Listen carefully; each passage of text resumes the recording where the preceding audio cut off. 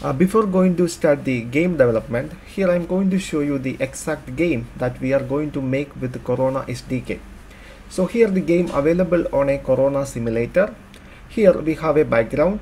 Uh, we have a ball that rests on a platform. So if the user tap the ball, the ball move a little bit upward and the user can keep the ball in space by tapping it again and again.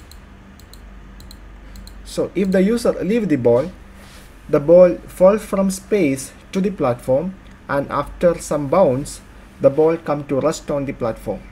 That is the game logic. Here we have a counter. The counter represents the user score. So if the user tap the ball, the counter update by 1. So the counter represents how many times the user tapped the ball in order to keep the ball in space. That is the score of the user. So this is the simple game that we are going to develop using Corona SDK.